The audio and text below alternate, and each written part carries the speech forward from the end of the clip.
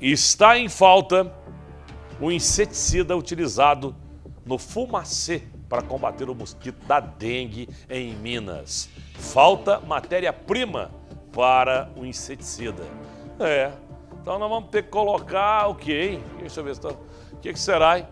Lá em São Sebastião do Paraíso, lá em São Sebastião do Paraíso, na época do senhor Valdir Mercolini, quem tem acima de 40 anos, 50 lá em São Sebastião do Paraíso, estão ligados aqui, vão, vão lembrar que eu vou falar. O pessoal falava assim, ó, ó o fumacê do Valdir.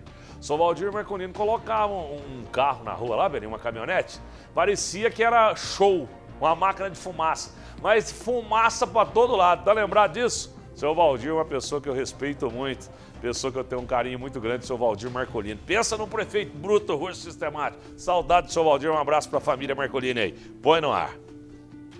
A Secretaria de Estado de Saúde disse, no entanto, que o larvicida para aplicação em focos do mosquito e inseticida empregado em pontos estratégicos com casos notificados de dengue têm sido fornecidos regularmente aos municípios. Para o bloqueio da infestação do mosquito da dengue em pontos estratégicos, como borracharias, cemitérios, amontoados de lixo, não há falta de inseticida. Neste caso, é aplicado um produto que é fornecido pelo Ministério da Saúde através da Secretaria. Já o inseticida usado no fumacê está com problemas de produção.